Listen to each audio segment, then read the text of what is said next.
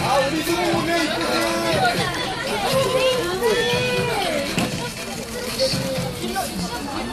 아 머리가 귀엽지?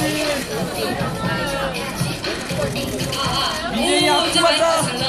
오, 이제 나온다. 오!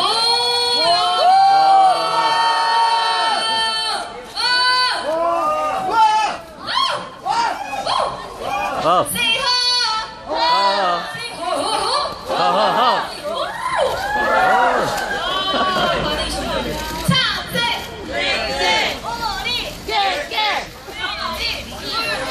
마이크가 거부한다.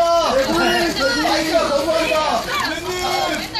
아 여러분 오늘 100분이 오셨는데 100분 다 오셨어요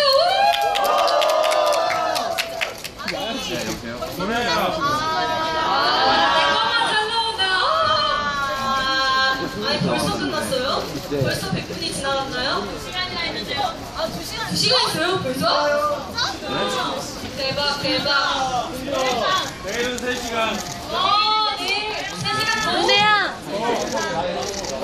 자 내일 의자 준비해줘요. 의자